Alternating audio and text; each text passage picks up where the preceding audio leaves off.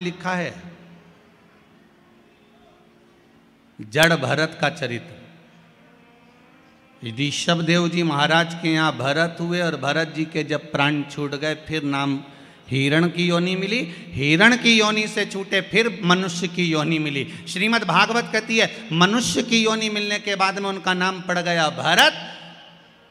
एक बार बड़े भाई ने कहा, जा खेत पे से चिड़िया उड़ाना। चिड़िया उड़ाने गया, मन में आ गया, राम जी का खेत, राम जी की चिड़ैया कौन उड़ाए? तो बड़े भाई ने लात मारकर भगा दिया। ये तो पगला है, ये तो पागल है, मूर्ख है, और उसी का नाम कह दिया, ये जड़ भरत है। नाम पड़ गया जड़ भरत। जड़ मतलब पागल। पागल मतलब प्रमोशन। समझदारी मतलब डिमोशन। ये ये समझदार है, ये पगला घर के लोगों ने कह दिया यह पागल है। और भरत जी महाराज पागल बनकर भगवान की भक्ति में लग गए। लोगों ने मीराबाई को पागल कहा? मीरा भई रे, बावरी बावरी मतलब पागल। लोगों ने, संत तुकाराम जी को पागल कहा? संत तुकाराम जी।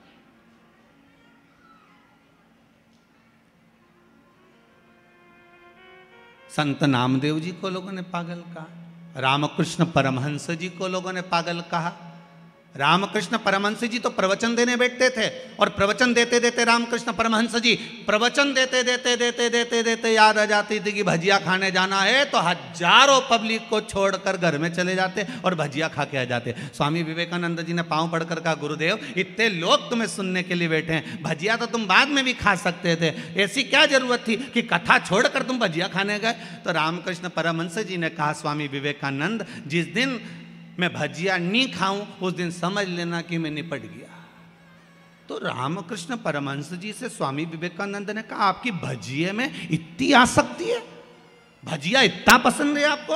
तो रामकृष्ण परमहंस जी ने कहा, भजिया पसंद नहीं है।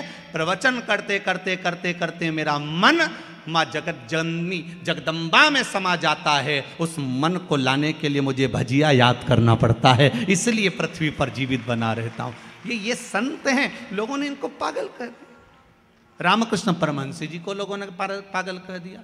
संत तुकाराम जी को लोगों ने पागल कहा। नामदेव जी को लोगों ने पागल कहा। नामदेव जी के घर में लग गई आग।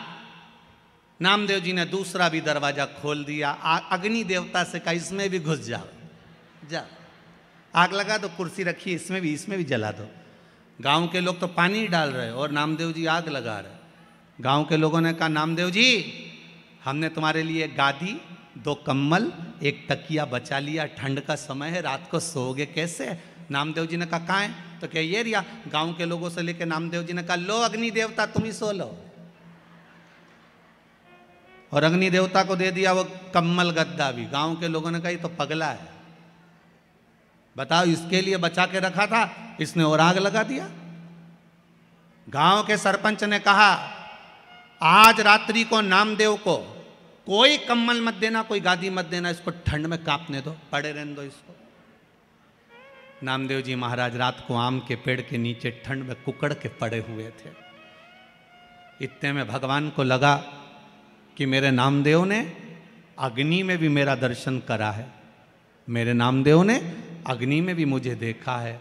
तो तुरंत मेरे नारायण रात्रि को आए नामदेव को गादी तकिया लगाकर मखवल के गादी पर तकिए पे सुलाकर चले गए और पूरे सुंदर झोपड़े का निर्माण कर दिया, सुंदर भवन का निर्माण कर दिया, बहुत सुंदर भवन का निर्माण करा।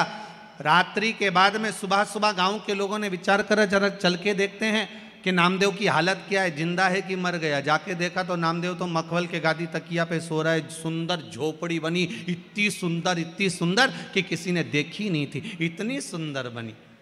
सारे गाँव के लोगों ने कहा, नामदेव जी, तुम्हारी ये झोपड़ी किसने बनाई? नामदेव जी बोले, पता नहीं, परंतु हमारा कोई रिश्तेदार आया होगा। सारे गाँव के लोग बोले, नामदेव जी, हाथ जोड़ के निवेदन है, एक आध मकान ऐसा हमारा भी बनवा दो नामदेव जी ने कहा लगाओ आग अपना अपना घर में आग तो लगा, अभी बन के तैयार। तुम आग लगाओगे, मकान तैयार हो जाएगा। लगाओ तुम आग।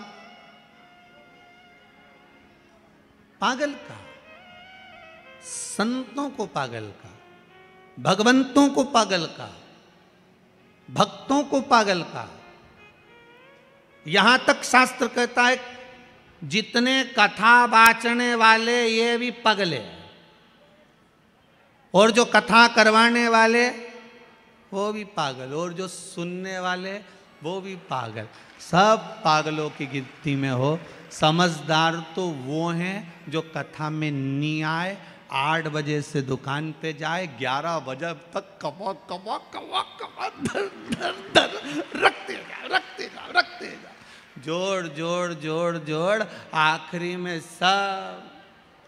यहीं छोड़, इतना बड़ा फ़ोटो टेबल पे और प्लास्टिक के फूल की माला और वो भी पंखे में हवा में डोले।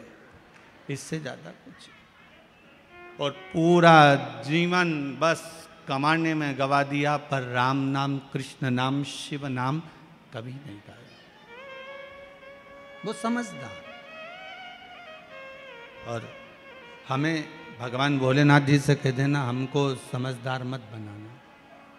हमें समझदार मत बनाओ। हमें तो आपकी भक्ति में, आपके भजन में, आपके स्मरण में हमें पागल बना कर रखो। हमें नहीं बनना समझ। हम आपकी भक्ति में डूबे रहे।